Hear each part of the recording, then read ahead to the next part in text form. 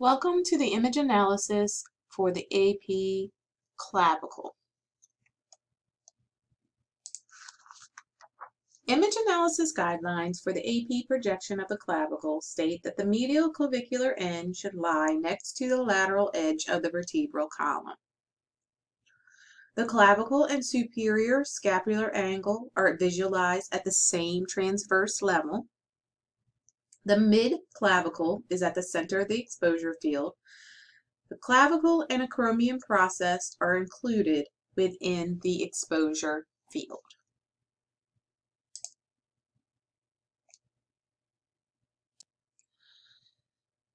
Let's just review some common uh, positioning errors. Just like in the shoulder, a lot of the rotation rules and um, tilting rules apply to the clavicle. If the uh, clavicle is, or torso, I'm sorry, is rotated away from the affected clavicle, the AP projection, um, you will see that the medial clavicular end is uh, superimposing the vertebral column rather than uh, being just lateral to the vertebral column. In order to correct this, you'll have to move the patient towards the affected clavicle in order to get that midcoronal plane parallel with the IR. When the torso is rotated toward the affected clavicle. The medial clavicular end will of the clavicle will draw away from that vertebral column and the clavicle will be foreshortened in the resulting projection. So you will have to rotate the patient um, uh, back so that their uh, midcoronal plane is parallel with the IR. As discussed in our previous video, when there is plane tilting, we're looking for that superior scapular angle in its relationship to the clavicle. It should lie within the same transverse plane as the clavicle, uh, but when there is anterior tilt, that superior uh, scapular angle will be projected above the uh, clavicle. When there is posterior tilt, the scapular angle will be projected inferior to the clavicle. So in both um, situations, you will need to um, properly align the patient's midcoronal plane so that it is parallel with the IR. Let's take a look at our first practice analysis. First, we want to make sure that we have all our anatomic structures that we need for the projection. We're looking for a clavicle, and we have a clavicle. Next, we need to determine is the patient positioned appropriately.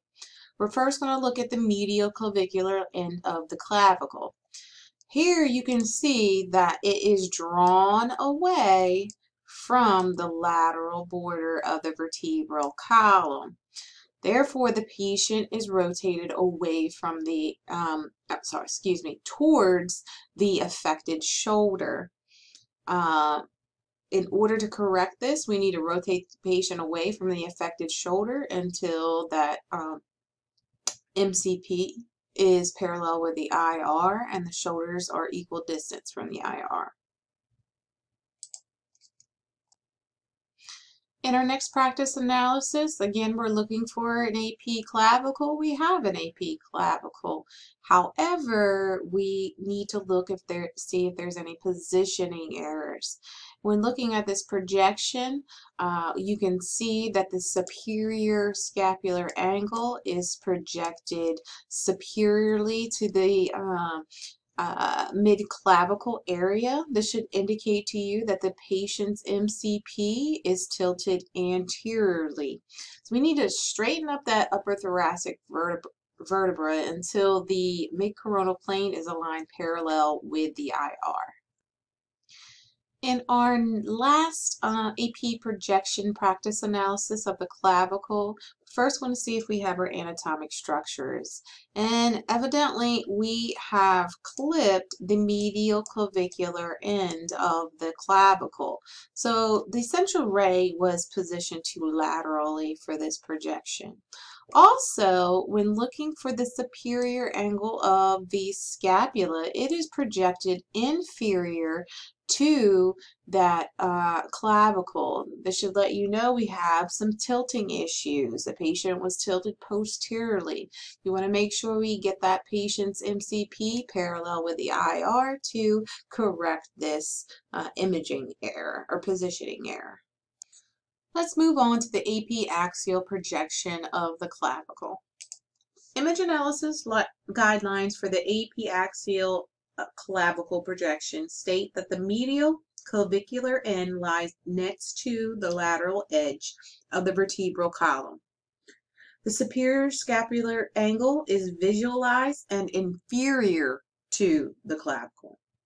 Medial end of the clavicle is superimposed over the first, second, and or third rib. Middle and the lateral thirds of the clavicle are seen superior to the acromion process and the clavicle bows upwardly. The mid clavicle is at the center of the exposure field. The clavicle and acromion process are included within the exposure field. And here are those image analysis guidelines. Let's look at this uh, AP axial uh, image analysis of the clavicle. First, we see that the medial uh, end of the clavicle is superimposing over the third rib, which is this is the third rib here, okay, coming out, which is fine. However, the um, clav lateral clavicular end here is um, not superior to the acromion here. It is actually in line with it. Therefore, the central ray was insufficiently angled. We need to increase that degree of cephalic uh, angulation to um, uh, appropriately get that um, clavicle position for this uh, AP axial projection. Let's move on to the AC joints. The image analysis guidelines for the AC joints AP projection state that the lateral clavicle should be demonstrated as horizontal. About uh, 0.125 of an inch of space should be present between the lateral clavicle and the acromion apex. The lateral clavicle demonstrates minimal acromion process superimposition the clavicle and superior scapular angle are demonstrated at the same transverse level.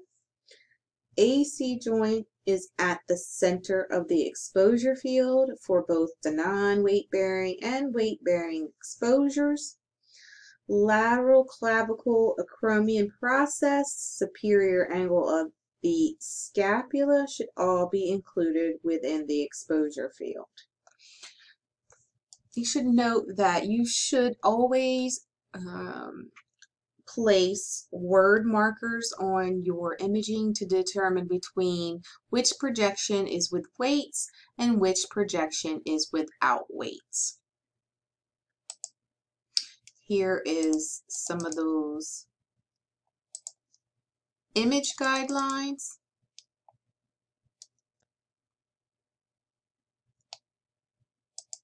This is an image with weights. All of the